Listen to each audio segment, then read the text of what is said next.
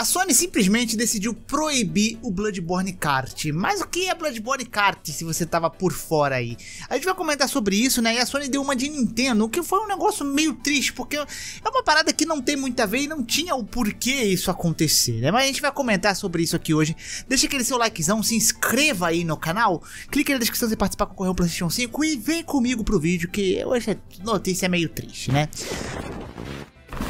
Bem, o Bloodborne Kart eu trouxe aqui, eu, se eu não me engano, eu trouxe um vídeo sobre ele aqui. É um jogo que está sendo desenvolvido pela Banleaf, que é um jogo feito por fã, basicamente, do Bloodborne Kart. Ela já tinha criado um Bloodborne versão PlayStation 1, que abrange a primeira partezinha de Arna ali.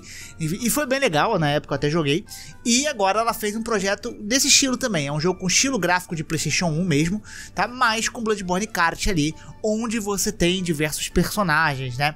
O Nicolás, o Gascone. É, você escolhe os personagens, igualzinho Mario Kart, né? Você vai escolhendo.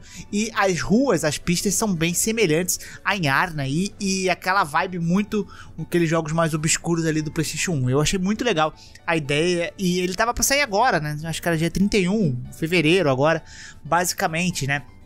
E era um projeto que eu achava bem bacana, bem interessante no geral, né? Só que o que aconteceu? A Sony basicamente, a princípio, não curtiu muito isso, né? A Banleaf, ela chegou, né, e falou que, cara, a Sony entrou em contato comigo.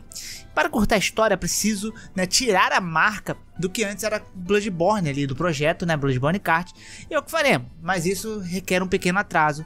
Não se preocupe, o jogo será lançado, só vai parecer um pouco diferente, né? E ela falou também que meio que esperava que isso acontecesse, né? Porque e que não ficou tão surpresa aí do fato de isso ter acontecido. Aconteceu, estamos trocando ali para poder cuidar disso, né? E ela vai entrar em contato o mais rápido possível aí quando tiver uma nova data de lançamento, né? Então assim, a Sony simplesmente viu um projeto de fã e decidiu remover igual a Nintendo faz, o que eu achei muito bobo, né? Não remover, né, mas solicitar para mudar ali o, o projeto. O que assim, é um negócio que para mim não faz muito sentido, porque é um projeto feito por fã e é um projeto 100% gratuito, não há ganhos aqui por parte dela, né?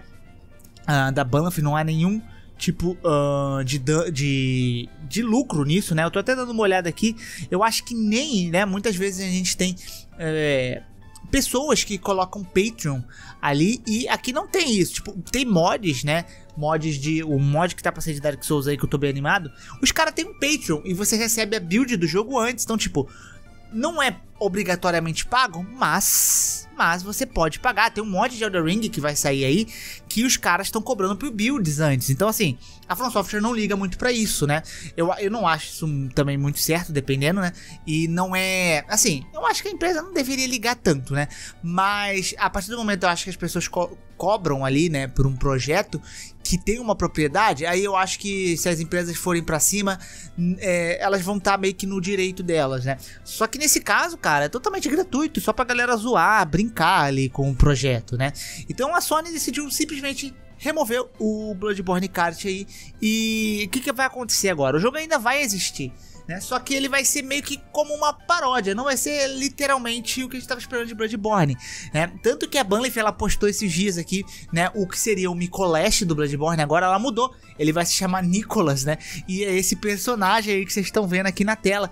Ele é uma paródia, uma espécie de paródia do Micolash, né? Só que com outras paletas de cores, mas ainda com a gaiola na cabeça e tal. Então, mais ou menos vai ser isso que vai se tornar o Bloodborne Kart. Ele vai ser uma espécie de paródia de Bloodborne, né, do PlayStation 1. Ainda assim é um projeto bacana, eu quero conferir, né? Eu vou continuar chamando ele de Bloodborne Kart, não tô nem aí, né? Mas é, eu achei uma palhaçada sem tamanho. É uma palhaçada sem tamanho. É um negócio que, né, não, pra mim não faz o menor sentido. Porque assim, não é como se fosse é, sei lá, os caras estão criando um Bloodborne 2 por fãs, né? Não, é um negócio que não vai acontecer, cara. A Sony não vai fazer um Bloodborne Kart, eu acho. Ela não vai criar um Bloodborne Kart, cara. Então é um projeto que já não ia acontecer na realidade e que os caras estão envolvendo, né? Muita gente aí, né, especulou que esse, esse projeto aqui, né, a Sony fazer isso pode ser que ela ainda se importa com a marca de Bloodborne e tal. Eu, sinceramente, acho que não dá pra gente teorizar, criar essas conspirações aí, né, com base nisso, não. Pode simplesmente ela quis remover ali, né, Depois lembrar que a Sony também é uma empresa japonesa e japoneses têm essas paradas aí meio complicada, né? Mas, meus queridos, basicamente é isso. É meio triste o que, é, o que tá rolando, né? O que rolou com o projeto. Mas ele ainda, pelo menos, vai existir. E é isso. Eu espero que tenham gostado desse vídeo. Um grande beijo, um grande abraço. Um beijo pro. Até a próxima e tchau, tchau.